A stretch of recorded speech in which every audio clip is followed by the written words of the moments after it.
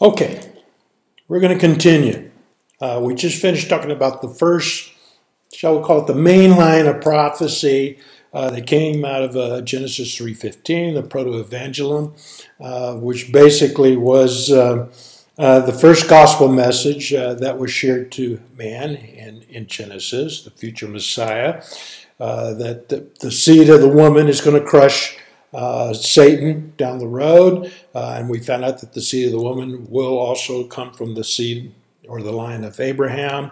Later, we found out it will come from the lion of the tribe of Judah, uh, Jacob's uh, son Judah. Uh, then we found out later uh, also it's going to come from the line of David. There was some very powerful prophecy there where God is going to establish his throne through the line of David. And then we found out also in uh, Psalms chapter 2 uh, that uh, the seed of the woman will be the anointed one, the Mashiach, the Messiah. So let's continue on because there's a lot more here. And let's discuss the marriage of the Lamb. This is going to be very, very special. So, first of all, I need to tell a story. Uh, but this is such an important story. So please bear with me. Okay, first of all, let's go back to the Abrahamic covenant. And the Abrahamic covenant was an unconditional covenant. So it's a covenant that there was no conditions. You could call it a forever Abrahamic covenant. And forever, I'm not kidding. This is what God says. In Genesis 17, he says, I will establish my covenant as an everlasting covenant between me and you, you being Abraham, and your descendants after you for the generations to come, to be your God and the God of your descendants after you. The whole land of Canaan, that will be the future of Israel, where you now reside as a foreigner, I will give as an everlasting possession to you and your descendants after you, and I will be their God. So, has this occurred? No, it has not. But we've seen bits and pieces of it being uh, fulfilled. But is the land been given to the people of Israel as an everlasting possession? Uh, and forever, they're, he's going to, God will be their God? No, we have not seen that yet. Okay, this is explained further in Psalms 105, where you, his servants, the descendants of Abraham, his, meaning God's chosen ones, the children of Jacob. He is Yahweh, our God. His judgments are in all the earth. He remembers his covenant forever. The promise he made for a thousand generations. The covenant he made with Abraham, the oath he swore to Isaac. He confirmed it to Jacob as a decree, to Israel as an everlasting covenant. To you I will give the land of Canaan as a portion you will inherit. So, this is a very important part of the Abrahamic covenant. Now, we know how the story goes. Uh, the, the, the children of Israel, of Jacob, they find themselves in Egypt, and not only they find themselves in G- Egypt, but now they're bound as slaves and working for uh, an evil Pharaoh. So, um, God reveals himself, or Yahweh, reveals himself to Moses in the burning bush. And he says in Exodus 6, he says, Therefore, say to the Israelites, I am Yahweh and I will bring you out from under the yoke of the Egyptians. I will free you from being slaves to them, and I will redeem you with an outstretched arm and with mighty acts of judgment. And then listen to this I will take you. The word here for take, lakah, it's an application of a verb like a man takes a woman. A man marries a woman as a wife. I will lakah you. I will take you as my own people, and I will be your God. It's almost like saying, I will take you to be my wife, and I will be your husband. We could say that, right? Then you will know that I am Yahweh your God, who brought you out from under the yoke of the Egyptians. So, this is introducing a very intimate love story.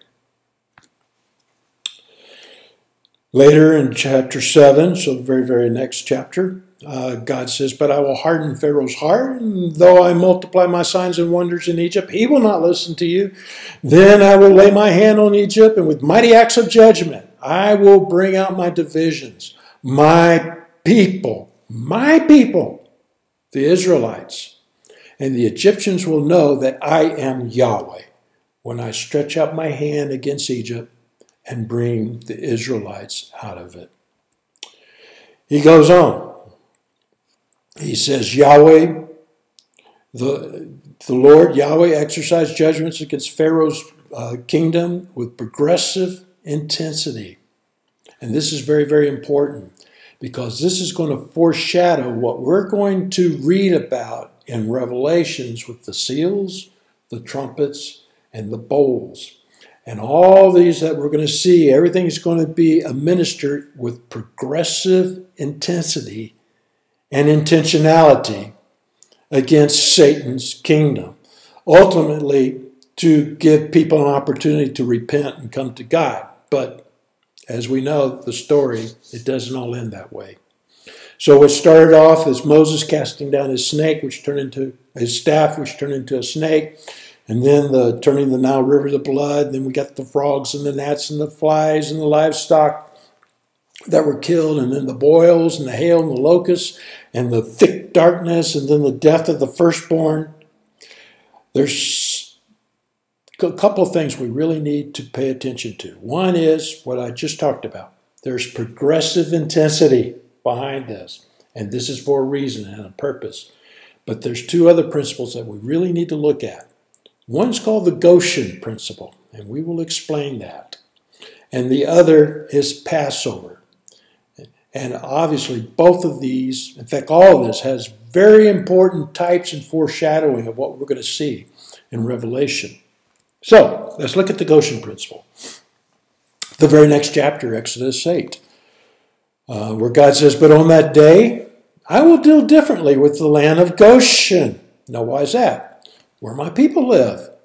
No swarms of flies will be there, so that you will know that I, Yahweh, am in this land. Wow. Very next chapter, Exodus 9. The only place it did not hail, and remember, this was hail that killed all sorts of livestock. The only place it did not hail was in, you guess it, the land of Goshen, where the Israelites were. And then we have the plague of darkness in, that, in the very next chapter, Exodus 10. Then Yahweh said to Moses, Stretch out your hand towards the sky so that darkness spreads over Egypt. Darkness that can be felt. No one could see anyone else or move about for three days. Yet all the Israelites had lights in the places where they lived that being Goshen. This is a very important principle that we're going to see once again in Revelation. And then there's the Exodus. Chapter 12. On that same night, I will, I being Yahweh, will pass through Egypt and strike down every firstborn of both people and animals. And I will bring judgment on all the gods of Egypt. I am Yahweh. The blood will be a sign for you on the houses where you are, and when I see the blood, I will pass over you. No destructive plague will touch you when I strike Egypt. This is very important. Uh, the very next verse, verse 14. This is a day you are to commemorate for the generations to come you shall celebrate it as a festival to the Lord, to Yahweh, a lasting ordinance. And as we know, Passover is so very, very important to our faith. What was Jesus' last Passover dinner? The Lord's Supper. It was celebrating the Passover meal. But what about his crucifixion? The lamb that was slain, Jesus Christ, that was slain on the cross. When did that occur? Well, that occurred on Passover. Now, wait a minute. I thought you told me we have a Passover dinner where Jesus shared his Lord's Supper, and then after that dinner, uh, we had a crucifixion where the Passover lamb was slain. That's two different events, two different days. That can't happen. Oh, yes, it can. And this is, once again, just the beauty of God's sovereignty in all this. Okay. Back then, in the days of Jesus' crucifixion, you had the northern kingdom, which was called Israel, and you had the southern kingdom, which was called Judea. And guess what? They couldn't agree on anything. This is almost like Republicans and Democrats in our world today. They just could not even agree on what the day of the week was. According to the northern kingdom, and the northern kingdom is uh, uh, includes the Galilee and the Galileans, where Jesus and his disciples were. They said that the day started at sunrise, and so it went from sunrise to sunrise. Oh no no no no no no no! The Judeans in the southern kingdom goes. The day starts at sunset, and it goes from sunset to sunset. So which is it? I think you know my answer. The answer is yes. And only because this was in place was Jesus Christ allowed to celebrate the Passover, the Lord's Supper, and then afterwards be the Passover lamb between 3 and 5 p.m. in the southern kingdom, because Jerusalem's in the southern kingdom. Only God could have orchestrated this. So, just a little side tidbit, but once again, so God is sovereign. That's all I can say. God is sovereign. And because of this disagreement, Jesus Christ could be the Passover meal and the Passover lamb. I mean, it's just utterly amazing. So, anyway, moving right along. Uh, so we know that story of the Passover, the crossing of the Red Sea. There's a lot of richness there. We just we don't have time to go through all of Exodus and, sh- and see the parallels that we will come back and revisit in Revelation. But we do know that the Lord met with His people in the wilderness, right? And Exodus 13, by day, Yahweh Yahweh went ahead of them in a pillar of cloud to guide them on their way, and by night in a pillar of fire to give them light, so that they could travel by day or night. Neither the pillar of cloud by day nor the pillar of fire by night left its place in front of the people. So, Yahweh was there with them in the pillar, be it the light or the cloud.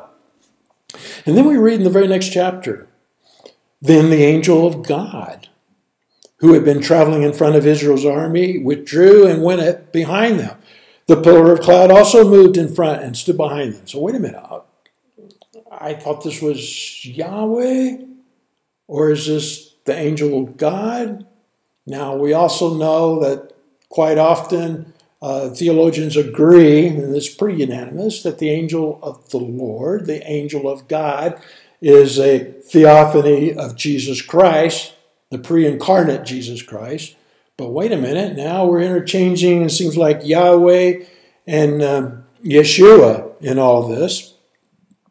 And then a couple of verses later, in verse 24, during the last watch of the night, Yahweh looked down from the pillar of fire and the cloud at the Egyptian army and threw it in confusion. Okay, the important principle here that we want to kind of highlight is that God was with his children in the wilderness. And we're going to see that later on in Revelation, in Revelations 12 6, where the woman, the woman being Israel, fled into the wilderness to a place prepared for her by her God, where she might be taken care of for 1,260 days, or three and a half years. Also, Song of Solomon, a very, very special book in the Bible. And people sometimes will ask, what's so important about Song of Solomon? It is a love story between God and his chosen people. And we read in Song of Solomon 3, verse 6, where it says, Who is this coming from the wilderness? Like a column of smoke, perfumed with myrrh and incense made from all the spices of the merchant. Once again, is showing a type and a shadow of Yahweh with his people in the wilderness. And we're going to see more of that when we get into Revelation. Okay, um, let's go back to Exodus 6 7. Remember, we talked about this very special proposal made by God, by Yahweh, where he says, I will take you I will take you like a man takes a woman to marry as a wife, as my own people, and I will be your God. Now, God has led the people all the way up to Mount Sinai. And we know a lot happens in Mount Sinai, probably a lot more than people realize. Because now in chapter 19, verse 5 6, he comes out with a different proposal. And listen to what he says. Now, if now, if means now we got a conditional proposal. Uh, so if it's a covenant, it's going to be a conditional covenant, not an unconditional covenant. But he says, now if you obey me fully and keep my covenant, then out of all nations, out of the whole earth, you will be my treasured possession. Stop and think of what's being said here. The God of all creation is saying, out of all people groups on this earth, out of all tribes, out of all nations, if you just obey me and keep my covenant, then you will be my treasured possession. The King of Kings and Lord of Lords, you will be my treasured possession. This is awesome. This is so powerful. Although the whole earth is mine, you, Israel, will be for me a kingdom of priests and a holy nation. I mean, this is just an amazing proposal. And compare this to Revelations, uh, fact, chapter 1, verses 5 and 6. Just as an introduction, uh, to him who loves us and freed us from our sins by his blood, that being Messiah, uh, Jesus Christ, and has made us to be what? A kingdom of priests to serve his God and Father. To him be the glory and power forever and ever. Amen. Once again, Revelation is once again setting the stage of what had been proposed back in Exodus 19. That if you keep my covenant, you will be my treasured possession. And you will be for me a kingdom of priests and a holy nation. This is just an awesome proposal. So, all of a sudden now, Moses finds himself in the middle, in the middle between uh, proposals that Yahweh is giving and the children of Israel. In fact, we, we can literally call Moses in all this a matchmaker. And hear me out. So, a couple of verses later, Exodus 19, 7 and 8. So Moses went back and he summoned the elders of the people and set them set before them all the words Yahweh had commanded him to speak. And the people all responded together. Quote, We will do everything Yahweh has said. So Moses brought their answer back to Yahweh. So, now we got a different covenant. God had given a proposal, a very intimate proposal, and the people have said, Yes, we will obey.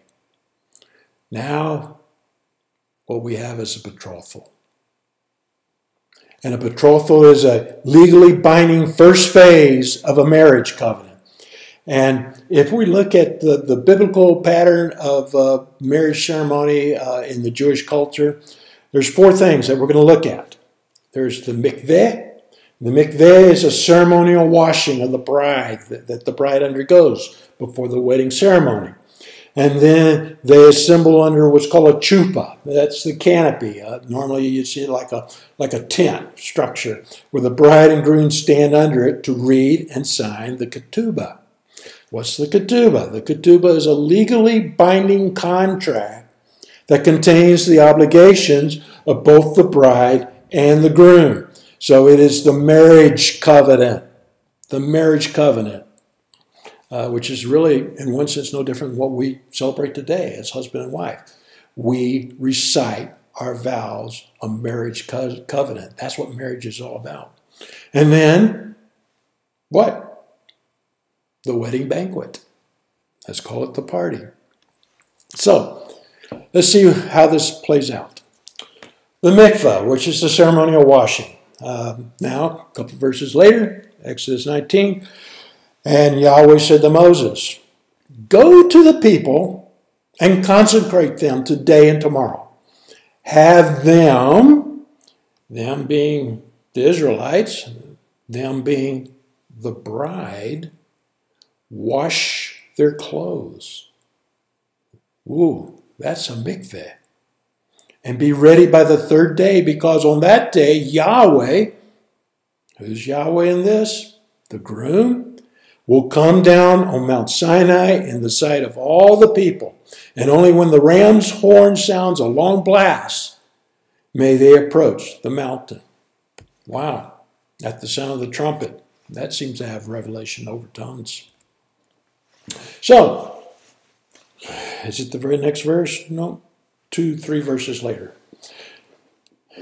Verse 16. On the morning of the third day, there was thunder and lightning with a thick cloud over the mountain. Well, what's that thick cloud? That's, that's a canopy, a chupa, and a very loud trumpet blast. And everyone in the camp trembled. And then Moses led the people out of the camp to meet with God. And they stood in front of the mount, at the foot of the mountain. Yahweh descended to the top of Mount Sinai. And what does he do? he calls Moses back to the top of the mountain. And God spoke all these words. What were these words? Well, these words would be the ketubah, the legally binding contract. What we know is the Ten Commandments. You shall have no other gods before me. You shall not make for yourself an image in the form of anything in heaven above or on earth below, beneath or in the waters below. You shall not bow down to them or worship them, for I, Yahweh, your God, am a jealous, we could use the word husband, am a jealous God. You shall not misuse the name of Yahweh, your God. Once again, we could say Yahweh, your husband. And in fact, when we compare this to Isaiah 54 5, Isaiah 54 5 says, For your maker is your husband. Yahweh Almighty is his name. The Holy One of Israel is your Redeemer. He is called the God of all the earth. Wow. Yahweh, your Maker, is your husband. The Holy One of Israel is your Redeemer. Wait a minute, I thought Yeshua was our Redeemer. Well, we're starting to see more and more interesting um, combinations here. He is called the God of all the earth. Continues. Remember the Sabbath by keeping it holy. The seventh day is a Sabbath to Yahweh, your God. Now stop and think about this. If we're putting this in a husband and wife context and picking one day out of the week where the husband and wife just spend that time together, what would, what would we call that? We would call that date night between husband and wife, right? And then we know the rest of the Ten Commandments to honor your father and mother so that you live long the land of Yahweh your God has given you. You shall not murder, commit adultery, steal, give false testimony against your neighbor, covet anything of your neighbor. Um, and thus are the Ten Commandments. So, a few verses later, when Moses went and told the people all of Yahweh's words and laws, they responded with one voice Everything Yahweh has said, we will do. Moses then wrote down everything Yahweh had said. He got up early the next morning. He built an altar. Now, listen to this. He built an altar at the foot of the mountain and set up 12 stone pillars representing the 12 tribes of Israel. And then he sent young Israelite men, and they offered burnt offerings and sacrificed young bulls as fellowship offerings to Yahweh. Um, burnt offerings are, uh, as we know, are uh, offerings of atonement. Fellowship offerings, well, that's for fellowship, right? For fellowship with uh, Yahweh. Moses took half the blood and put it in bowls, and the other half he splashed against the altar. And then listen. Then he took the book of the covenant. What is that? That's the ketubah, the wedding vows and he read it to the people. They responded, We will do everything Yahweh has said. We will obey. And then the very next verse, listen to this.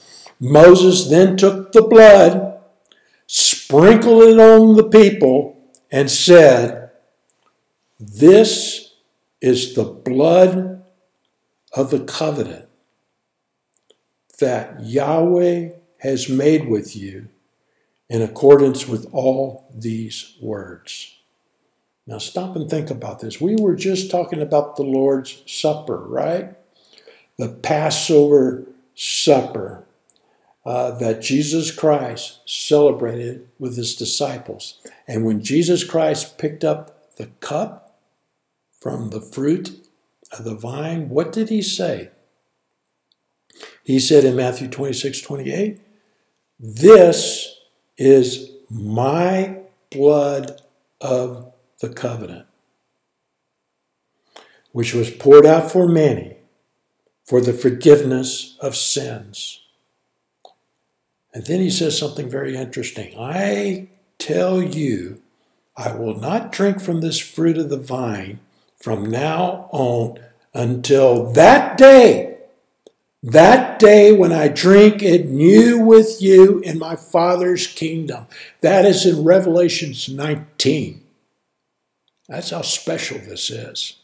This is how special it was in Exodus chapter 24. This is how special it was in Matthew 26 at the Lord's Supper.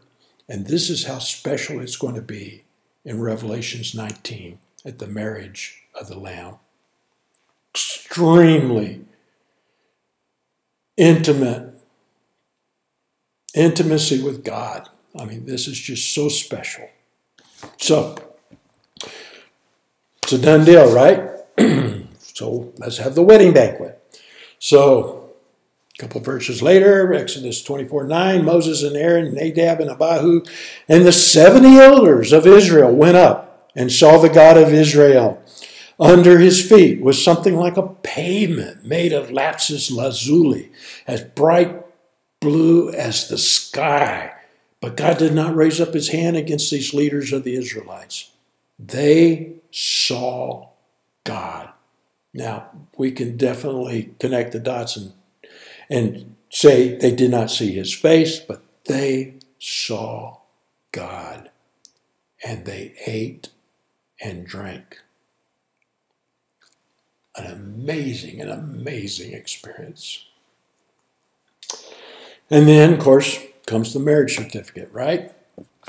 Exodus 24 12, Yahweh said to Moses, Come on up to me on the mountain and stay here, and I will give you the tablets of stone with the law and the commandments I have written for their instruction. So Yahweh himself wrote with his very finger on the, on the tablets of stone the law and the commandments. In verse 18, then Moses entered the cloud and he went up on the mountain and he stayed on the mountain for 40 days and 40 nights. And then, of course, we know what happens in those 40 days and 40 nights. A few verses later.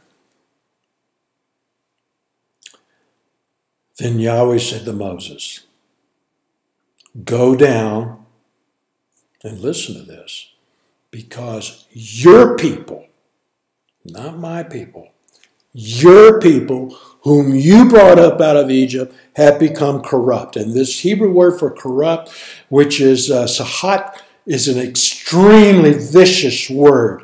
Uh, sahat means to be utterly ruined, destroyed, to bring the ruin. Let me give you two uh, uses of, of context of sahat. When God destroyed man with the flood, with Noah, that was the word. Man had become sahat. When God destroyed Sodom and Gomorrah with fire, that was the word he used once again. Man had become sahat. Your people, whom you brought out of Egypt, have become Sahat, corrupt. They've been quick to turn away from what I commanded them. They have made for themselves an idol cast in the shape of a calf. They have bowed down to it and sacrificed to it and have said, These are your gods, Israel, who brought you out of Egypt. I can't even begin to imagine the pain and agony that our Lord God, Yahweh, felt. The utter rejection from the God of all creation. I mean, this is just, this baffles me. I am so baffled that, and thankful that God did not just utterly destroy everybody then. Anyway, the story continues. Exodus 32 26. so he, Moses, stood at the entrance of the camp and said, Whoever is for Yahweh, come to me. And all the Levites rallied to him. And then he said to them, This is what Yahweh, the God of Israel, says Each man strap a sword to his side, go back and forth through the camp from one end to the other, each killing his brother, his friend, his neighbor. The Levites did as Moses commanded, and that day about 3,000 of the people died. And this, by the way, is the reason why the tribe of Levi, the Levites, became the Levitical priesthood because of what they did on this day. So, in spite of all of this, in spite of Israel's unfaithfulness, in spite of Israel's utter contempt the Lord remains committed to his covenant and to his people. And this is just the amazing love and the heart of our Almighty God. Exodus 34 5. Then, then the, the Lord Yahweh came down in the cloud and he stood there and proclaimed his name, Yahweh. And this is in front of Moses. And he passed in front of Moses proclaiming, Yahweh, the Lord, Yahweh, the compassionate and gracious God slow to anger, abounding in love, abounding in faithfulness, maintaining love to thousands, and forgiving wickedness, rebellion, and sin. This is an amazing love. Yet, he does not leave the guilty unpunished. And as we will see also in Revelation, the Jewish people will not be left unpunished. They will pay a tremendous price. But that's later on in Revelation. Leviticus 26 explains it eloquently. But if they will confess their sins and the sins of their ancestors, this being their ancestors, their unfaithfulness and their hostility towards me, me being Yahweh, which made me hostile towards them, so that I sent them into the land of their enemies.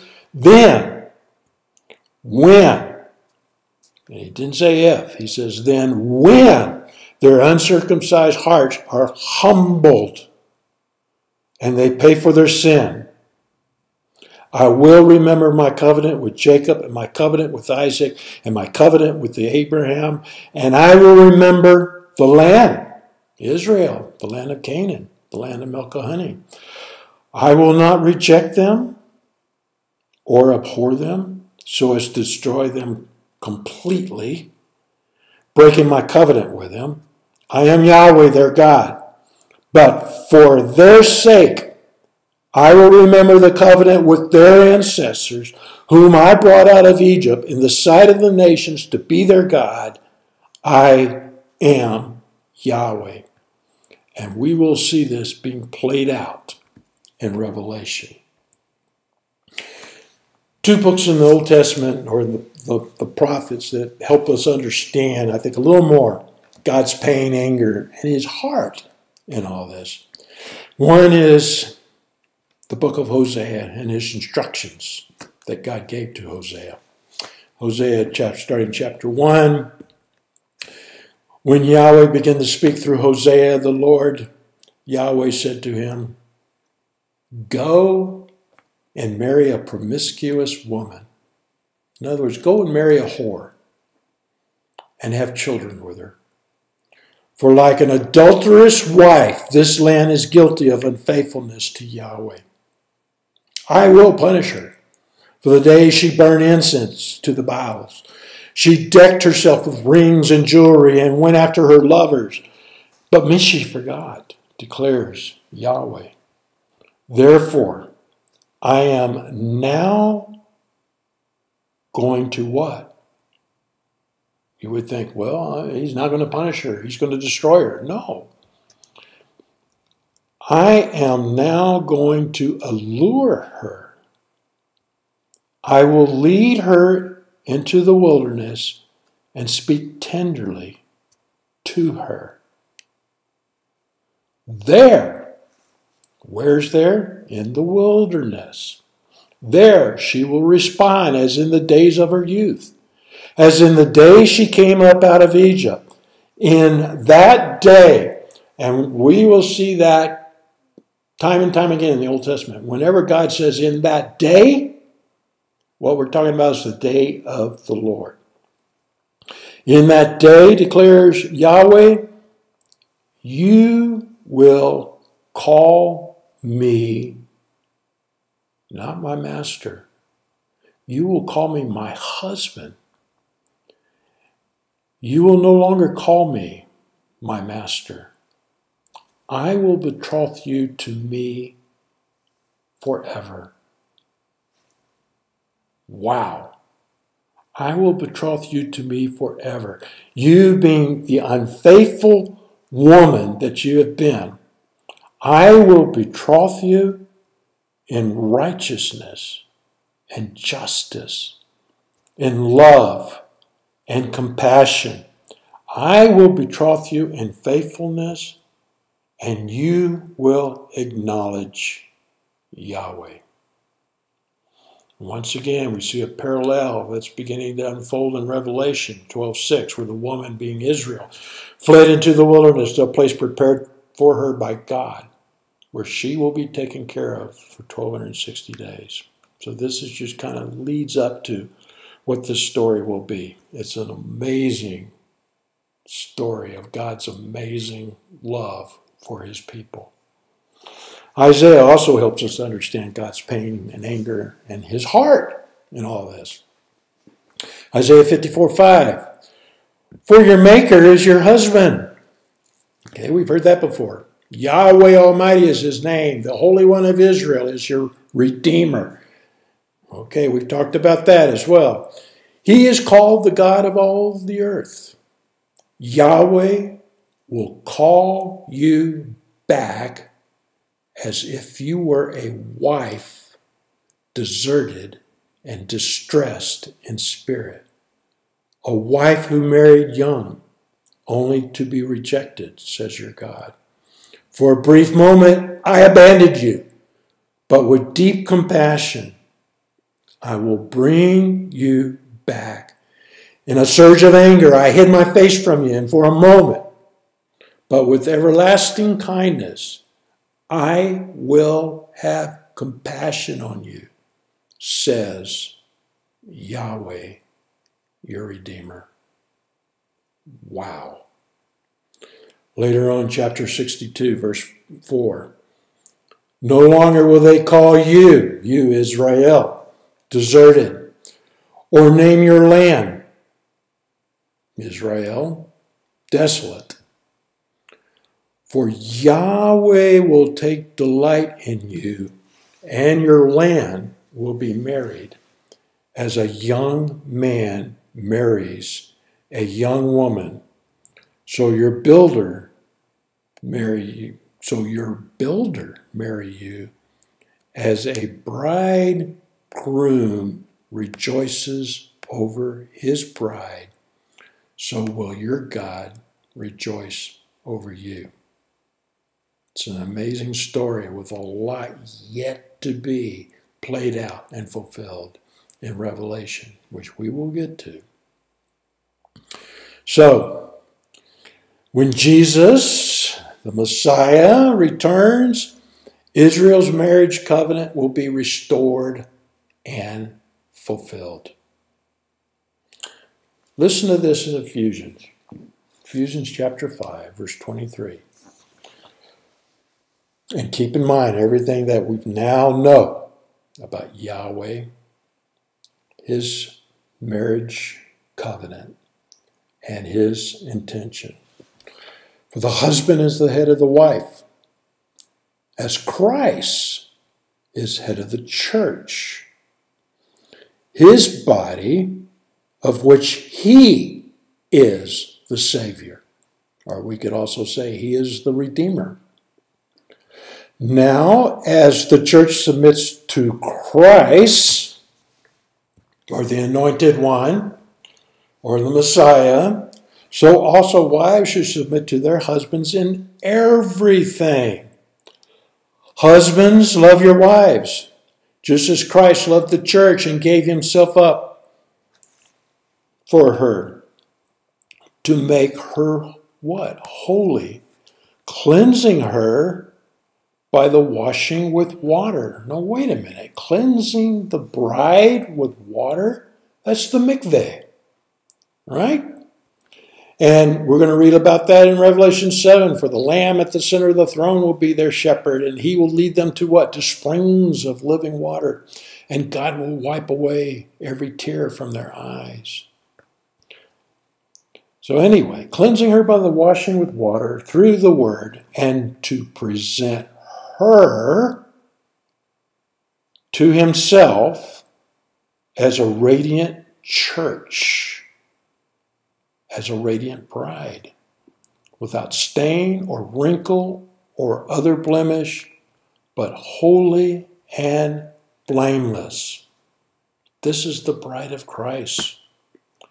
In the same way, husbands ought to love their wives as their own bodies. He who loves his wife loves himself. After all, no one ever hated their own body, but fed and cared for their body just as Christ does for the church. For we, you, me, us, we are members of his body. And for this reason, a man will leave his father and mother and be united to his wife and the two will become one flesh. Now, we normally refer to this as a consummation of marriage, but what does it say in Ephesians? This is a profound mystery. But I am talking about Christ and the church, the bride of the Lamb. And we'll read about that later in Revelations 19, where uh, it says, Hallelujah, for our Lord God Almighty reigns. Let us rejoice and be glad and give him glory, For what? For the wedding of the Lamb has come, and his bride has made herself ready. Fine linen, bright and clean, was given to her to wear. Fine linen stands for the righteous acts of God's holy people, the bride of Christ. So, we're going to stop there because we're going to go into another main line of prophecy. So, we have gone through um, the seed of the woman. We have now gone through the bride, the marriage covenant. And next we will go into what is Yahweh, the cloud rider, who will come and rescue his people. But that will be another discussion.